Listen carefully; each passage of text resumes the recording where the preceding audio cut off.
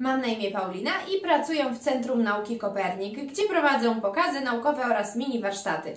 W ramach akcji Kopernik w domu przygotowałam dla Was bardzo ciekawe doświadczenie, które z pewnością bez problemu wykonacie w domu. Co nam będzie potrzebne? Zapałki oraz pusty słoik. Tylko mój słoik wcale nie jest pusty. Jest pełen dymu. A jak to się dzieje, że dym nie ucieka z otwartego słoika? Zobaczmy to z innej perspektywy. Widzicie teraz dwa słoiki, do których za chwilę wpadną świeżo zgaszone zapałki. Obserwujcie, jak zachowuje się dym w jednym i w drugim słoiku.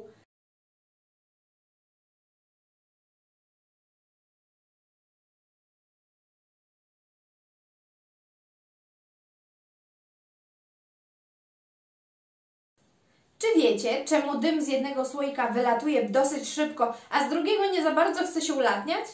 Zachęcam Was do eksperymentowania, do szukania odpowiedzi. Wrzucajcie w komentarzach filmiki, zdjęcia z Waszymi rozwiązaniami, z Waszymi zadymionymi słoikami.